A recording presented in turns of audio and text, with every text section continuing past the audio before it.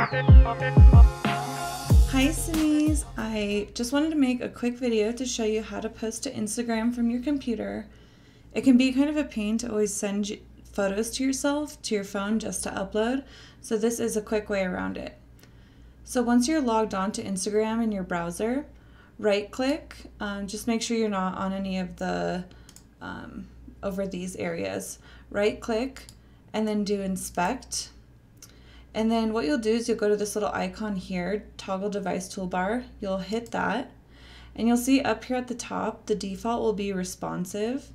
And you'll just want to go to the drop down. It doesn't, I don't think it really matters which one you go to. I always go to iPhone X. And then once that's selected, um, you'll see it kind of looks the same here. What you'll do is once it's on iPhone X, you'll just go here and reload.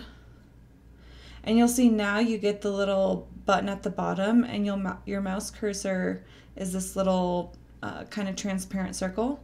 So you'll go and hit the plus button and then um, you'll go to where your file is. It'll always be down here to custom files. For some reason you have to go and hit all files and then um, select your image and you'll see this is the image I want to post. So I'll go to next and then here you can write your caption. So whatever you want. Um, and so you can just put your text there and then share it.